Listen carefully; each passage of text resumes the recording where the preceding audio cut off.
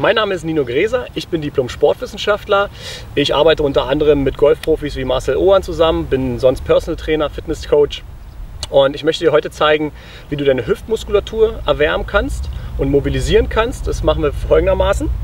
Nehmt euch einen Schläger, stellt euch gerade hin und lasst das Bein mit so wenig wie möglich Eigenimpuls von links nach rechts pendeln.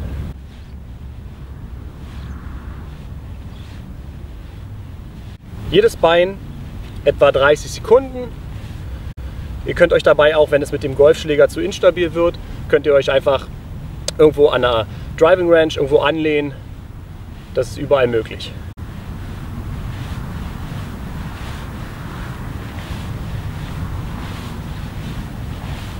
Der Vorteil dieser Übung ist, dass ihr eure Hüfte warm werden lasst, dass ihr einfach Verletzungen beim, beim Schwung, beim Ausholen äh, vermeidet und dass ihr einfach vielleicht besser in die Runde starten könnt.